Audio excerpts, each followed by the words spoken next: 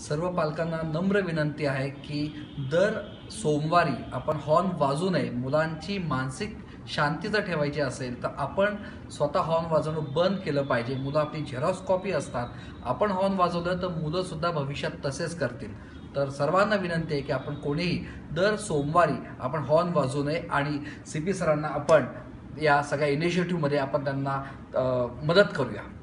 चला आजपासून आपण सगळे मिळून हॉर्न वाजवणार नाही असा एक प्रयत्न करू आणि आत्तापासून हॉर्नचा वापर बंद करूया.